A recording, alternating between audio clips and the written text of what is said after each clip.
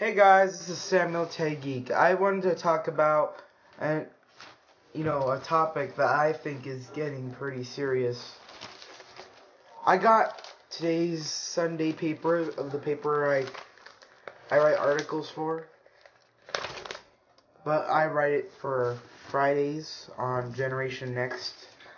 Um, one thing I've noticed is, remember my my Wii Zapper controversy that I covered five months ago? Well, one of our reporters barely covered it today.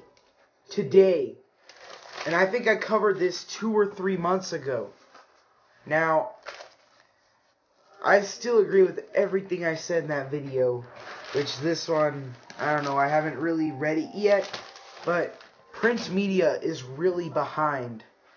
I know they'll have as much time. It can't be instant, but still, that's two months ago. I can understand if that was a week or two ago, but that's two months. My brother's playing Wii Bowling again. Anyway, yeah, he also reached 300, and his what's your what's your score? Well, 1,965.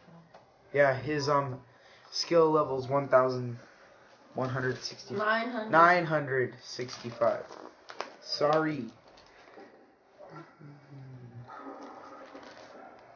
You see, they compare it to this. Look at this.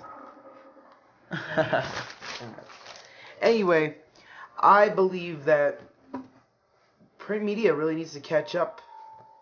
I mean, a day or two or weeks ago is fine because my game reviews, you know, are like a week or two after the game come out. But this is two months ago, man. At least two months ago.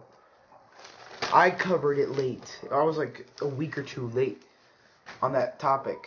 And I'm on the internet, which is a lot different being late on the internet than it is on print media. But still, it's been two months. What do you guys think about this? Do you think print media is really getting behind on their stories? Um, please comment and tell me. I think this is a very interesting topic.